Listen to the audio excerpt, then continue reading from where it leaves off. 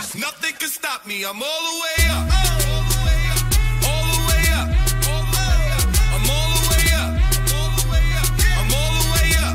Nothing can stop me. I'm all the way up. Show it what you want, show it what you need. What you need. My niggas run the game. We ain't never leave, never leave.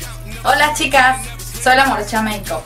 Desde este increíble tutorial este, de un cut gris cerrado, algo súper dramático para combinar colores, aprender técnicas. Espero que.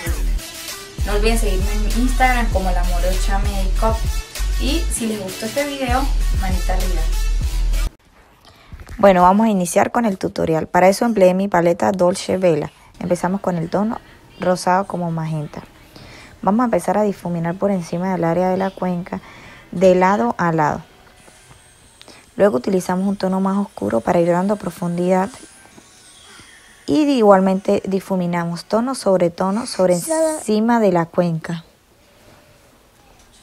Muy bien, ahora vamos a utilizar el corrector de Monriff, un corrector amarillo. Pueden utilizar cualquier corrector que tengan. Suben el ojito hacia arriba para marcar hasta donde queda el ángulo de la, del cut crease. Con mucho cuidado vamos a delinear el área del cut gris. Tómese su tiempo para que lo hagan bien. Este es el detalle correcto del ojo, de la técnica de ojo. Luego vamos a marcar la colita, ¿sí? En este caso va a ser un cut gris cerrado. Así que lo vamos a hacer con mucho cuidado. Yo utilicé cinta pegante para cuidar los extremos y luego y luego pues perder cuidado cuando quite la cinta. Con un tono piel o perdón, marfil vamos a sellar todo ese corrector, ¿sí? Luego vamos a utilizar el negro y lo vamos a humedecer un poquito el pincel con agua para empezar a dar el punto de profundidad del izquierdo, del, del extremo de afuera y el extremo interno del ojo, ¿sí? Entonces con mucho cuidado vamos a dejar una línea blanca finita, que es la que está del corrector, para crear ese efecto de un doble delineado. ¿Ok? Con mucho cuidado hacemos el otro extremo, pulimos bien y vamos a utilizar el tono morado. Con ese vamos a sellar el área interna del ojo, ¿sí? Y vamos a, crear ese efecto degradado. Utilicé un pigmento de Lea Colors en tono rosado, pueden usar cualquier sombra que tengan. Y ese va a ser el centro, ¿sí? Y ese va a ser el, el foco de luz de nuestro cut crease con efecto 3D en el centro. Vamos a delinear el ojo, retiro la cinta con mucho cuidado. No duele tanto, es mentira, es para hacer, para bromear. Con la línea del agua la vamos a pintar con un lápiz negro, el que tengan, y luego difuminamos, ¿sí? ¿Cómo difuminamos? Con, con la misma sombra que vamos a utilizar abajo, que es la morada, empezamos a difuminar ese negro para que no se vea marcado, ¿ok? Y luego difuminamos el negro en los dos ojos. Posteriormente vamos a retirar todo el baking que ya teníamos hecho previo.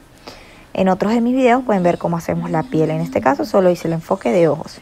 Retiramos todo el baking eh, para, pues, para terminar la piel. Ahora bien, vamos a aplicar highlight. Yo apliqué highlight. Es, siempre se coloca por encima del pómulo y ponemos un poquito en la boca para crear un efecto de voluminosidad en los labios. Para las que son labios pequeños, pues crea un efecto bien bonito.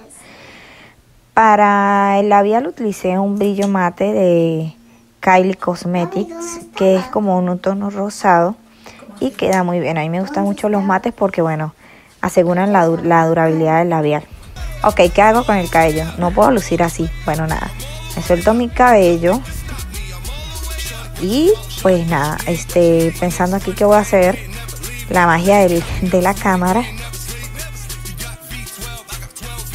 Y bueno, voilà. Diva y poderosa la moracha. No, mentira. Eh, secador y plancha para hacer las ondas. En mis videos anteriores tengo cómo las hacen. Eh, bueno, y ese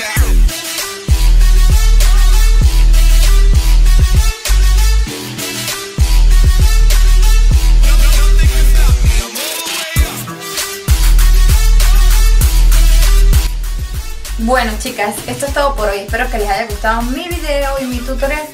Si es así, no olviden suscribirse a mi canal y dejarme en los comentarios que les gustaría seguir viendo mis videos. Bye.